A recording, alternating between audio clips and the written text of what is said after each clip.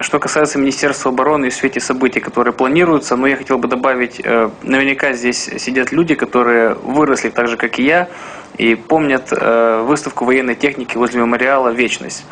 Э, эти фотографии, они вклеены в семейные альбомы, люди их бережно хранят, вспоминая свое детство. Они лазили по советским пушкам, по советским танкам, которые сломали хребет фашизму.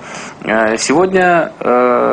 Э, 9 мая планируется, чтобы наши молдавские дети фотографировались рядом с американскими танками, с американскими пушками. То есть э, это явным образом преследуется цель подмены символов подмены картинки. Ну, когда человек будет эту картинку смотреть, то он будет понимать, что все-таки, ага, наши американские танки все-таки самые сильные в мире, и они победили фашизм. То есть это а, ни для кого не секрет.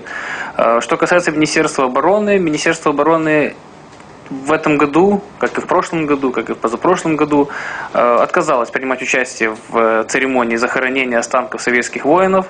В письменном виде оно э, сообщило нам, что э, все военнослужащие молдавской национальной армии заняты на мероприятиях.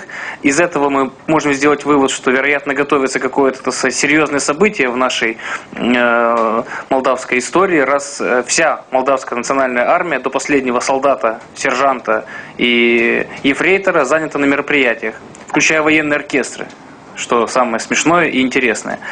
Э, и второе, что сообщило нам Министерство обороны, что в нарушение всех действующих на территории нашей республики э, законов и положений, оно отказывается сотрудничать с неправительственными организациями, занимающимися увековечением памяти героев Великой Отечественной войны.